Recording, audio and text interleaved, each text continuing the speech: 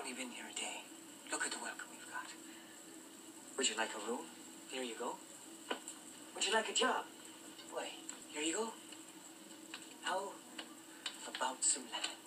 Well, get a horse and help yourself. So now you believe me about the land, do you? Well, if they're throwing it away, I wouldn't mind a piece of it.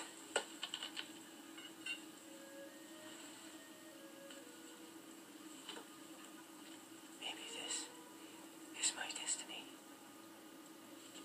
On his deathbed, my father told me he'd be watching me from up above. I wonder now if his spirit might be near, guiding me along. If he bumps into Mr. McGuire up there, tell him I want my spoons back. Ah, imagine me. Joseph Donnelly standing on my own plot of land. What would I plant, I wonder?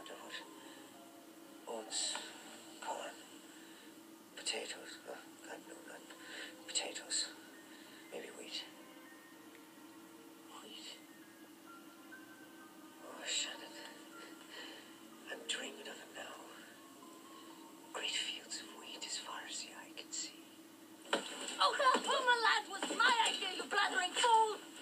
Maybe this is my destiny. If it weren't for me, Farm you wouldn't even be here! Ah, well, if it weren't for me, Miss High and Mighty, you'd have died outside in the street!